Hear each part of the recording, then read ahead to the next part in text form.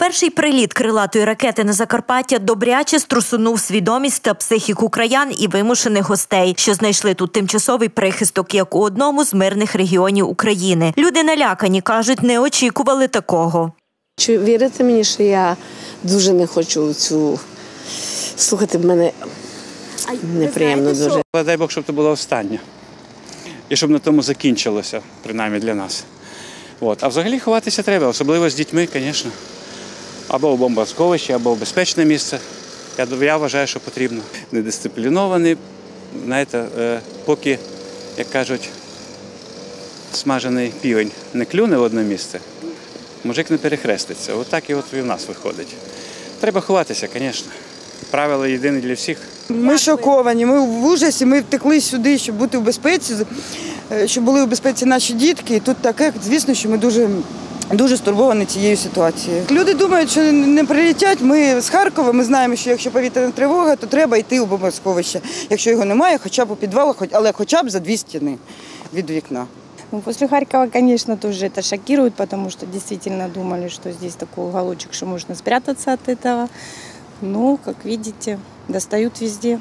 Поэтому страшно, потому что их еще не коснулось то, что пережили мы, поэтому более раскрепощенно себя ведут.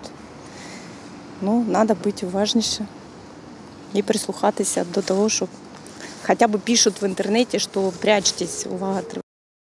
Людський фактор у цій ситуації спрацьовує на всі сто. Поки не торкнеться, люди нехтують безпекою під час повітряної тривоги. Тільки телеканалем студіо неодноразово висвітлював у сюжетах нульову реакцію у місті на сирени. Ужгород продовжував життя у звичному ритмі, ніби нічого не сталося. Варто сподіватися, зараз ситуація зміниться, і усі прямуватимуть в укриття з першими звуками оповіщення. Крім того, закарпатцям та гостям краю треба нагадати, що поширювати будь-яку інформацію воєнної тематики зась.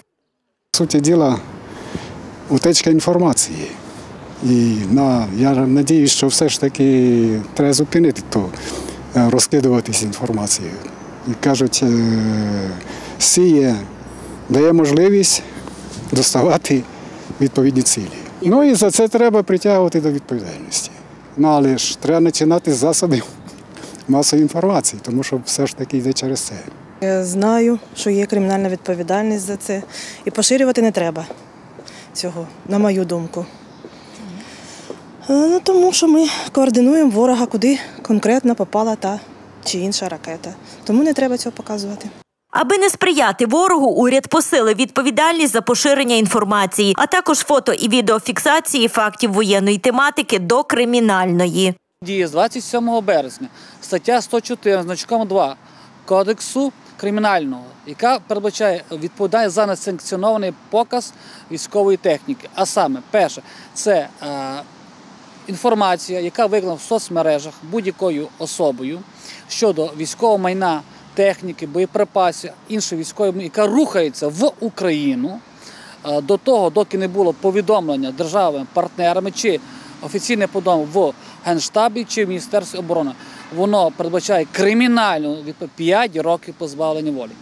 Частина друга цієї ж статті передбачає кримінальну відповідальність за поширення інформації без офіційного оприлюднення генштабом, міністерством оборони чи іншими уповноваженими органами чи особами на території України з можливістю ідентифікації військової техніки, амуніції, зброї чи місця знаходження. Третя частина вона передбачає кримінальну до 12 років, якщо була фотофіксація, і ця фотофіксація привела до відповідно тяжких нас, це може бути жертви людей, фізичні, майнові матеріали, або отримання певного відповідно коштів, тобто так звана вигода, із передачою держави агресора або її військових формувань.